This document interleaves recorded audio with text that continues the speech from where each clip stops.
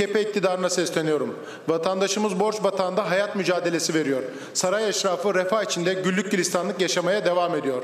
Bu tablo Türkiye Bankalar Birliği'nin kredi ve kredi bar- kartı borcunu ödeyemeyen vatandaşlarımızın her geçen gün arttığını gösteren tablo. Bu yılın Ocak-Mayıs döneminde yasal takibe düşmüş borçlu vatandaş sayısı 750 bine ulaşmış durumda.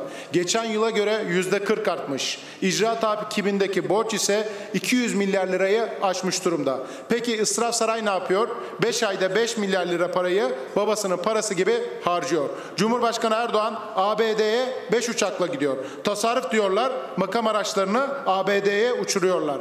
Millet borç içinde israf saray şatafat ve saltanat peşinde. Hiç mi vicdanınız sızlamıyor? Bu böyle gitmez. Seçim gelecek, israf bitecek. Adil bir düzen kurulacak, vatandaşlarımız refah erecek. Yüce Meclisimizi saygıyla selamlıyorum.